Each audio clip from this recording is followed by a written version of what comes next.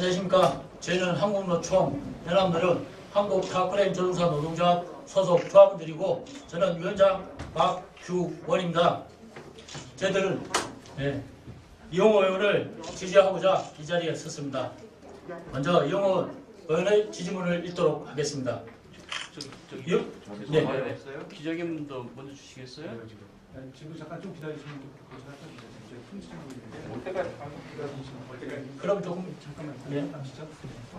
보시면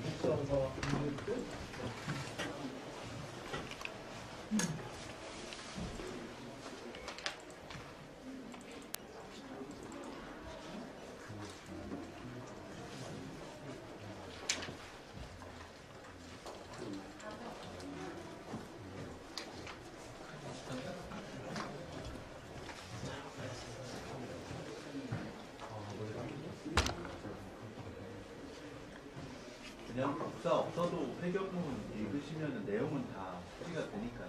예, 여기 가져왔습니다.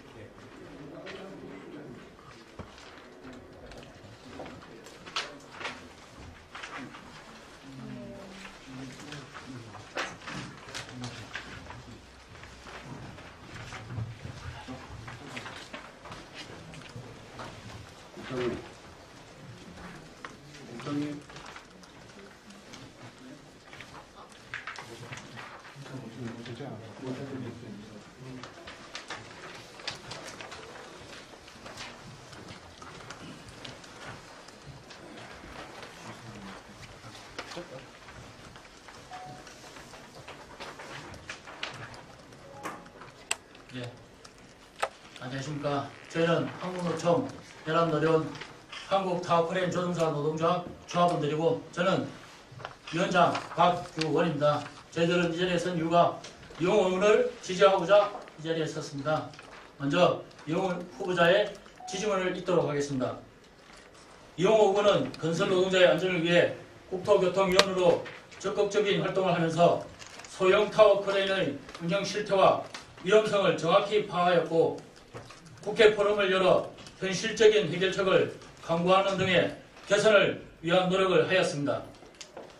이는 노동자의 가치와 인간의 존엄이 존중받는 사회를 건설하기 위한 노력이고 40만 노동자들 대표해서 한국노총 연합노련 한국 타워크레인 조종사 노동조합은 이용호 후보를 전폭 지지합니다.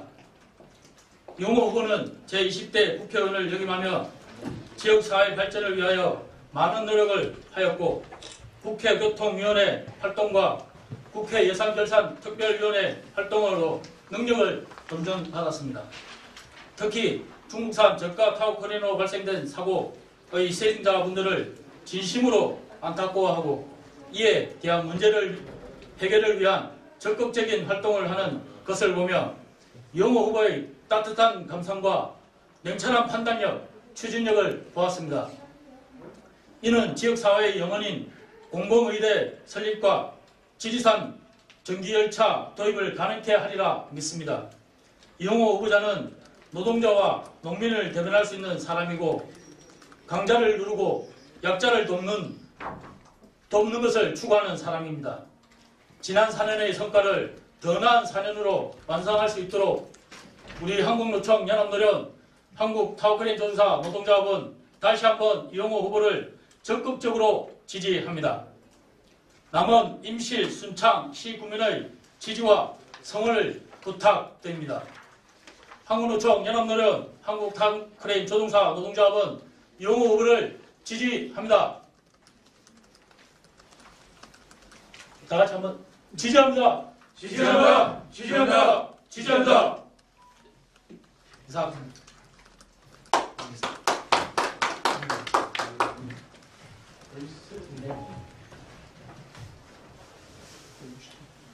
원계를 예, 저를 지지해 오신 우리 사업부인 조주 관계분들께 진심으로 감사의 말씀을 드립니다.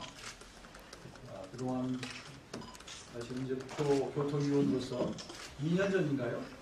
사업부인의 안전성 문제 때문에 사고가 너무 많이 나서 아, 심지어 대통령께서도 관심을 가진 분야였는데 우리가 충분히 안전 문제를 신경 쓰면 그리고 정부가 적극 나서면 좀 개선될 수 있는 문제를 그동안 너무 아, 도의시 왔다 그런 생각이 들어서 그동안 함께 노력해온 것입니다.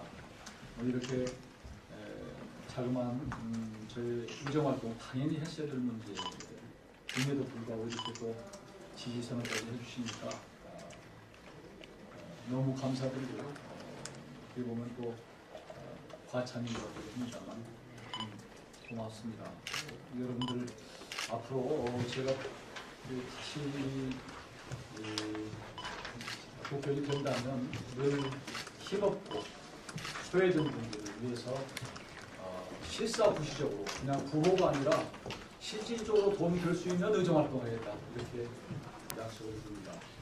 앞으로도 아마 사업부인 앞으로도 해결할 문제가 많이 있는 것으로 알고 있는데 에, 우리 함께 노력하는 약속을 네, 너무 고맙습니다. 했는데 이해가 좀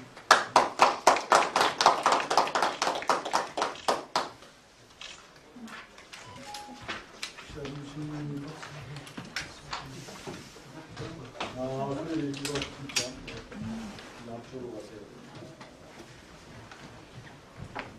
나와서 앞으로 네, 나와서 쓰시는 게 좋을 것 같아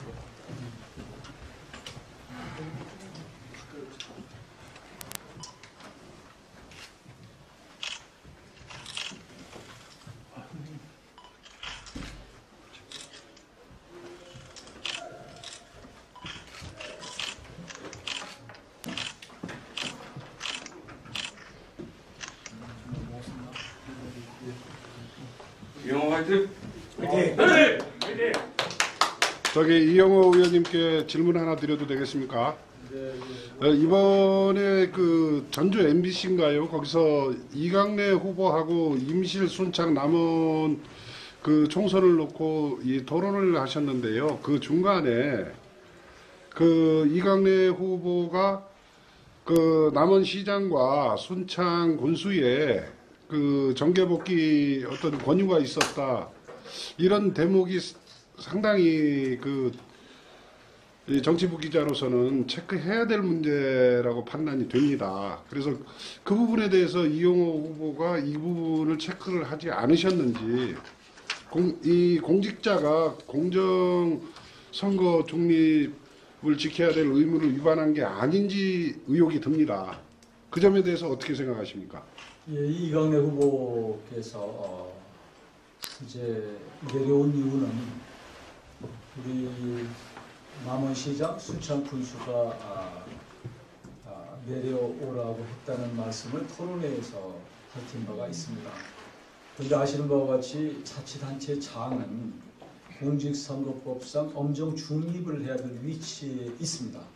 그런데 누군가를 그 선거에 출마하라고 권유하는 것은 자칫하면 공직선거법에 위반될 어, 여지가 혹은 그런 의심이 들 수 있기 때문에 에, 저희는 이강래 후보가 얘기한 것을 토대로 공개 질의를 어, 남원 시장과 순창 군수에게 요구를 했습니다. 그래서 공개적인 답변을 할 것을 요구했습니다만 두 분은 아직까지도 침묵을 지키고 있습니다. 아, 선거는 어떤 경우에도 어, 관권이 이 개입해서는 안 된다고 생각하기 때문에 이 부분에 대해서 명확히 밝혀야 된다고 생각을 하고요. 저는 그분이 8년 전에 우리 남원에서 낙선하고 이제 우리는 농촌 국회의원에는 잘 안 맞는다. 수도권 대도시에서 하는 것이 옳겠다라고 말씀하시면서 사실 지역구를 바꿔서 서울 서대문으로 가셨습니다. 그 서대문에서 다시 낙선하고 8년 만에 돌아오셨는데 적어도 돌아오실 때 그런 누군가가 요청했다고 하는 그게 믿기가 아, 어려운 얘기를 하시기보다는 우리 12년 동안 아낌없이 밀어주신 우리 남원 순창 우리 주민들에게 정말 죄송했다라고 반성하는 모습을 보였어야 되는 것이 아닌가 하는 생각을 듭니다. 이 부분은 매우 유감스럽게 생각합니다. 그와 관련해서 이광래 후보 측에서 나온 자료를 보면 그때 그 사적으로 나눈 대화였는데 이게 유출됐다고 그런 걸로 제가 기억하거든요. 사적으로요? 네, 나눈 대화인데 그 어떤 내용이 것이 유출됐다. 어떤 것이 사적으로? 오라고 내려오라고 했. 아, 이것은 네. 수천 명이 보는 공개적인 방송 토론회에서 얘기한 거예요. 너 내려오라 했다고 사회자 이제 사회자가 물- 이유를 물어보니까 사회자가 어떻게 해서 내려오게 됐냐, 누가 요청했냐 이렇게 물어보니까 아, 이강래 후보가 남원시장과 순창군수가 내려오라고 했습니다. 이렇게 답변을 하더라고요. 그래서 제가 재차 확인한 내용입니다. 이게 사적으로 할 것 같으면 이 공개적인 방송 장소에서 과연 그렇게 답변할 수 있는 것인지 저는 조금 의문이 듭니다. 그렇다면 2009년 남원시장하고 순창구수 대선거가 했잖아요. 그때 네. 기획위원장 이강래 위원장 아니었던가요?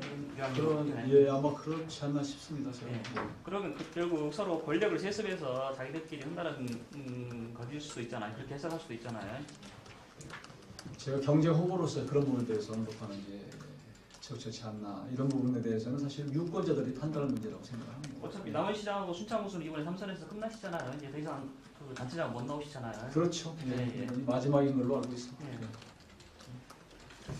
예. 조심스러운 질문인데요. 예, 그 경선 과정인데요. 네, 그러니까 국민의당 경선 과정이죠. 예. 이낙연 후보와 박지원 후보가 서로 경선을 치렀는데 공작 정치라는 말이 나오더라고요.